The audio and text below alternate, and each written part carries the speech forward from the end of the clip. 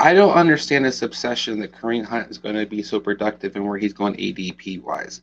He is the second running back the, on the Browns. He had an outrageous amount of touchdowns. And people love to talk about regression for quarterback touchdowns and receiver touchdowns, but they don't want to talk about Kareem Hunt's regression due for touchdown wise. He's not going to have double digit touchdowns again this year.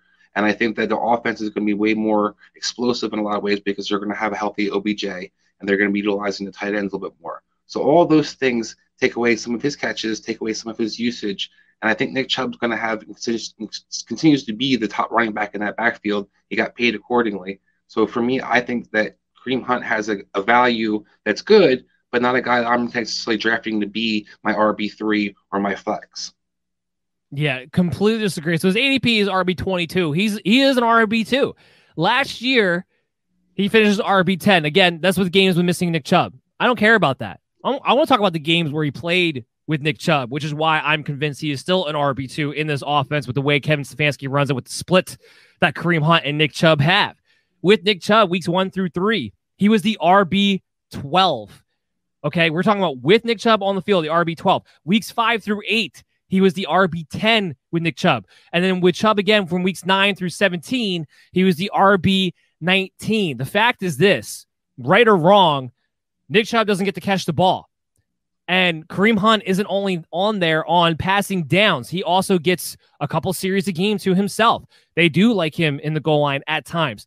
So while I think there might be a little bit of a bigger split, to your point in the red zone when it comes to a Nick Chubb and a Kareem Hunt, Kareem Hunt is still going to be involved enough in this crazy run heavy offense of Kevin Stefanski where the entire offense revolves around this backfield. Kareem Hunt has enough talent where if you give him 12 plus touches a game, he'll finish as an RB2. And his ADP being RB22, I'm 100% with that as I have him ranked at RB23 this season. Go ahead, you can rebuttal. No, I mean, I think that you kind of hit nail on the head in the sense that you have him at 23 um, I think that there's not so much where I think he falls as the RB is where I think he's getting drafted in the ranking wise. I think that he's going rounds way earlier than I think that he should because I still think that he's still a splitting time running back. Well, right now he's typically going in the back end fourth round, early fifth round. That's exactly. typically where you would have a low end R running back go. So that's why I'm kind of confused as to why he's a bust there because I think that there's a lot of right there. I think that you're looking for more upside running back, or you're looking for a receiver that you're solidifying in your lineup. That's receivers in, in round five. We kind of saw in the last yesterday's show. Kareem Hunt is somebody to me that if you're going to take him in the seventh or eighth round, I have no problem with. It's the round four or five that I'm going to I definitely debate because I think there's other guys clearly more valuable to have on your team than a second running second running back in the system.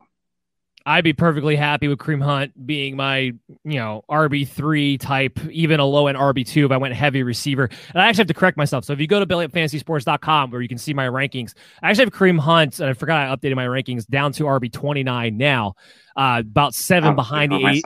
About 70, 80 behind AP. Yeah. So that actually would suggest I'm a little bit on your side. I still don't think he's a bust where he's going. And I still think he has tremendous upside and we know what he can do even though he didn't, I don't think he actually played well without Nick Chubb last year, but he was still a top 10 running back during that stretch anyway. I think that says something of himself. He still has that upside in case something happens to Chubb.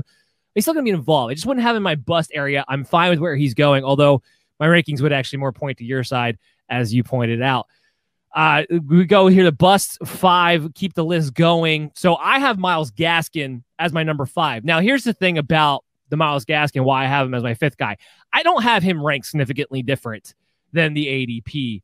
Um, I actually have him only one or two spots, I believe, behind ADP right now as I'm trying to pull up my list in front of me because my screen, of course, always goes blank. I just love technology. Myles Gaskin, I have at the moment ranked as the running back 23, and his ADP is RB 21.